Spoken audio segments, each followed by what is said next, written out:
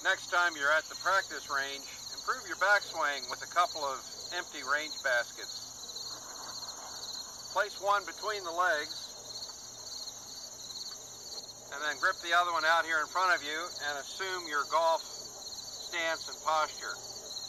From here, I'm going to swing up and keep that basket uh, held tightly between the legs. Do that a couple of times. What you feel here is resistance in the legs with the basket being held in place. That's creating a powerful coil on the backswing for a powerful yet effortless downswing. The uh, basket between the hands here engages the shoulders, hands, and the arms in one piece so you can feel that one piece start.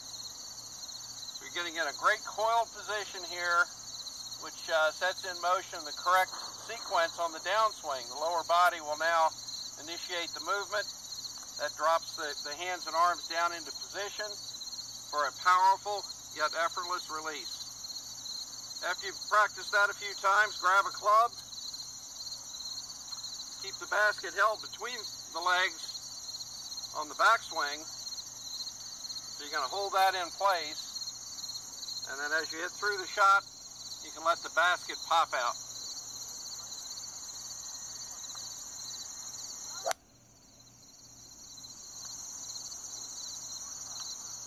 Give this a try next time you're at the practice range. It's definitely going to help your backswing.